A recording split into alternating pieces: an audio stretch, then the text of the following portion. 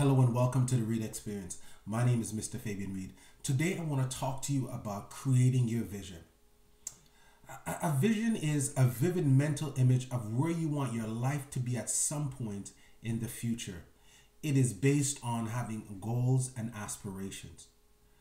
Today I want to, to encourage you and let you know that having a vision will give you a clearer focus and it will stop you from going down the wrong path.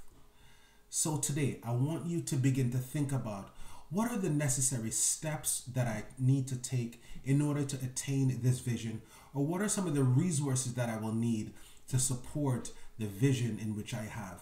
Finally, I want you to begin to put action behind each and every one of those steps and begin to put those resources into action. As you begin to do so, I am very confident that your vision will become a lot more clearer. And your future will look a lot brighter. So today I want to thank you for stopping by the Reid Experience, and I want to say to you, have a powerful day. Thank you.